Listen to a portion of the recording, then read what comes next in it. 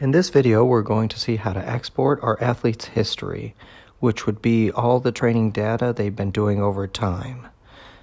To do that, the first thing we have to do is go to the Progress tab and select the athletes whose data we want to export. In this case, we want to export the data for these three athletes. We hit continue and now we select the exercise we want to export. We know we have data in bench press. If we want to export other exercises, then we would have to repeat this process for each exercise. So I'm going to select bench press and we're going to click here.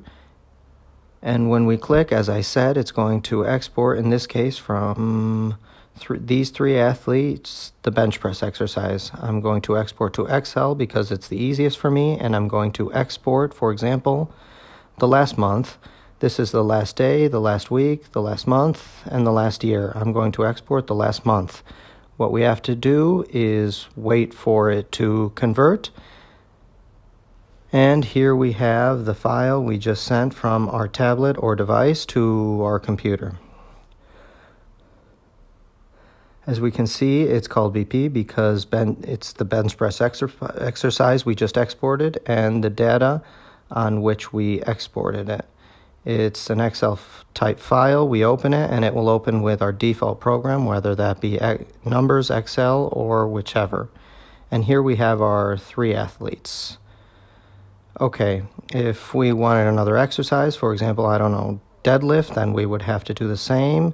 The same thing, go back to the app, select the athletes we want to export, select the exercise, and export it.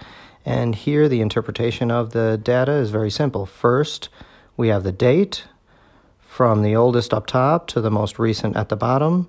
For this athlete in particular, we have, for example, with 150 pounds, he did four reps. With 200 pounds, he did three reps. Type C is concentric.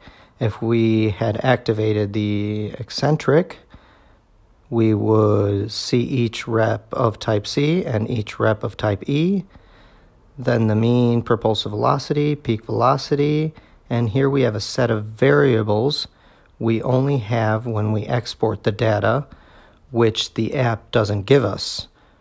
Like, for example, mean acceleration, peak acceleration, we have ROM, which is shown in the app.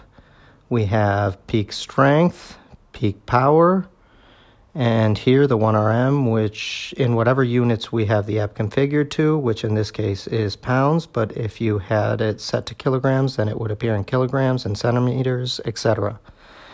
And that's it. It's that simple. Here we have the other athlete, and like I said, to recover this file, it would send send it through AirDrop, or you could send it through email and download it, or really however you want.